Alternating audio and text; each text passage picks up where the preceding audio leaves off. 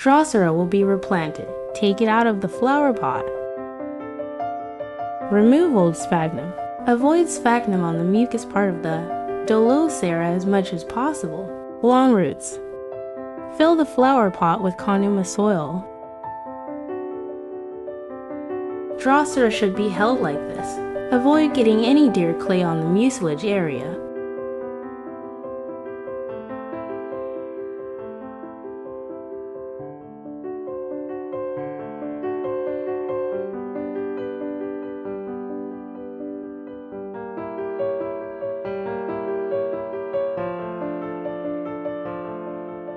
Water the flower pot, and when the water comes out of the flower pot is clear, you are done.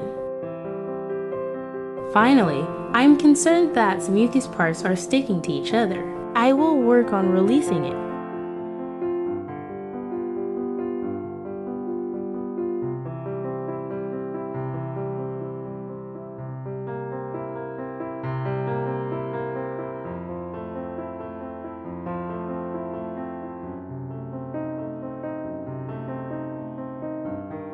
Next, I will replant Adelae. Take it out of the flower pot.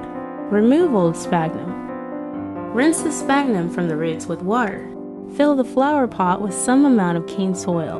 This is how to hold Adelae. Put Kanuma soil.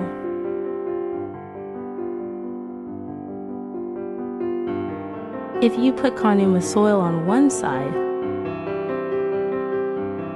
put Kanuma soil on the other side in the same way. Lightly tap the flower pot to even out the kanuma soil. Wash the mucilage area with water as it has been covered with kanuma soil. As for the mucus, that will come up again eventually. But it's best not to splash water on the mucus area as much as possible. And when the water from the flower pot becomes clear, it's done. The leaves are attached to each other by their own mucus and are peeled off. I will post a video about Drosera and Adelae's growth in the future. Please subscribe to my channel if you are interested. If you like this video, please give me a high rating. It will encourage me to make more videos. Thank you for watching. After the leaf cuttings of Drosera, new buds emerged. Mucus is coming out well.